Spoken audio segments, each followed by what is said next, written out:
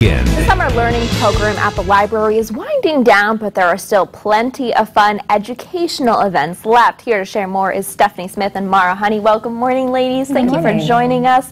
So sadly, the summer learning program does have to come to an end. Yes. But you still have more planned.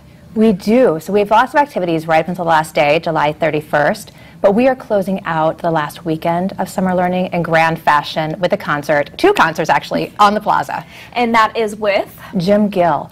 Kids and parents both love Jim Gill, which is quite an achievement. it's, it's true. Um, Jim Gill really focuses on music play that engages children in dancing and parents in dancing. It's going to be a wonderful time to just come out and create some really fantastic memories together. So you mentioned already it's two separate events. Can you explain Mm-hmm. the difference between the two? Sure. So on Saturday, the 27th, we have two outdoor concerts with Jim, one in the morning, one in the evening.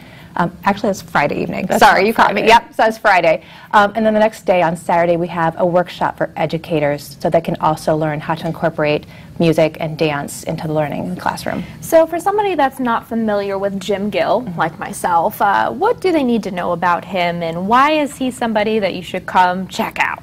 So, Jim is a renowned children's musician. He plays music that really um, motivates people to just get up have a great time together. So, it'll be an opportunity to bring a blanket, you know, have a picnic, but all of his songs have things to do. So, you don't just sit back and relax, you actually get to be a part of the music. So, the concerts are going to be a really fantastic way for families to have a great time together. And then on Saturday, that workshop that he's doing is going to give educators and parents new ideas for how to use music in um, every day.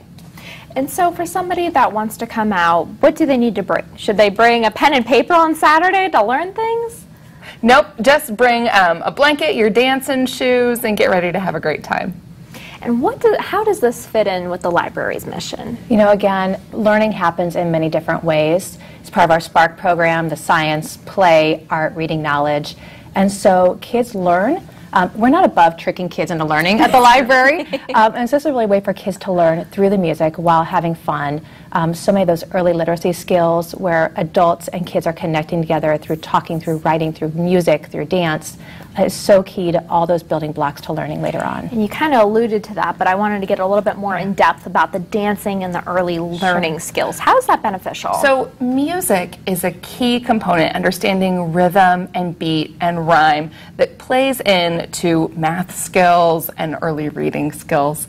And even something like following directions is a very important part of the music that Jim Gill has. And also learning how to control your body, when to go fast, when to stop, when to go slow. So, having all of those elements of play um, are really developing all of the skills that children need to be a success. Stephanie Mara, thank you so much for stopping by. we appreciate it. Find more information on the library's upcoming events at acpl.info or 260 421 1200.